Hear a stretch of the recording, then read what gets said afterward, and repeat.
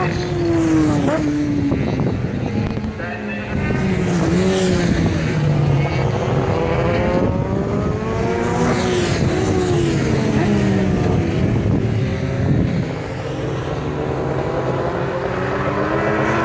I think that's Rex Butcher.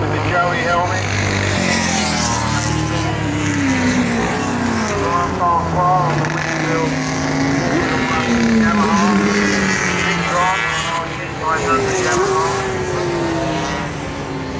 looking sign, circle number eight.